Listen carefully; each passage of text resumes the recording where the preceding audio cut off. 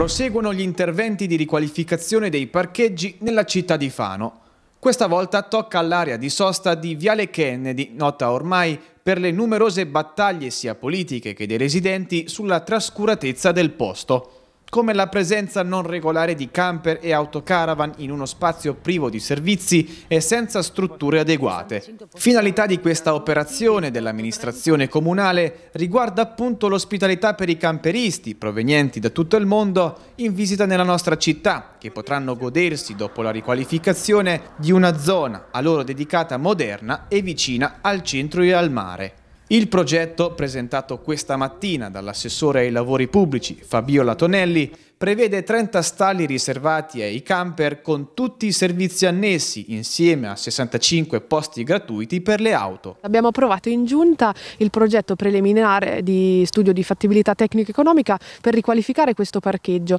Una parte rimarrà un parcheggio gratuito per le automobili e quindi dobbiamo abituarci ad utilizzarlo e una parte invece lo riserveremo ai camper con tutti i criteri che un parcheggio camper deve avere sia per dimensione sia per servizi. Quindi una parte li costruiremo faremo eh, su una parte di quest'area verde, un'altra metà diciamo sulla parte già esistente asfaltata.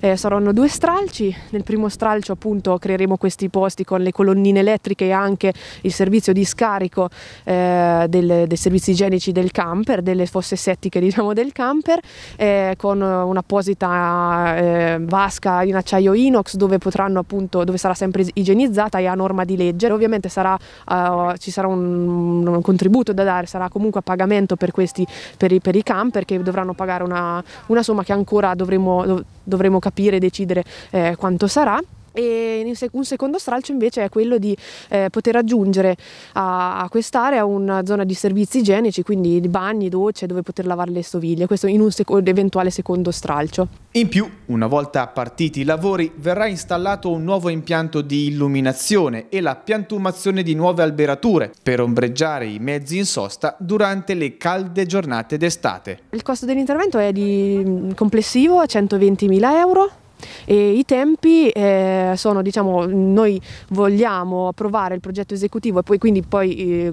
conseguentemente eh, iniziare i lavori nel mese di giugno del prossimo anno, quindi intorno a metà del prossimo anno vorremmo iniziare i lavori.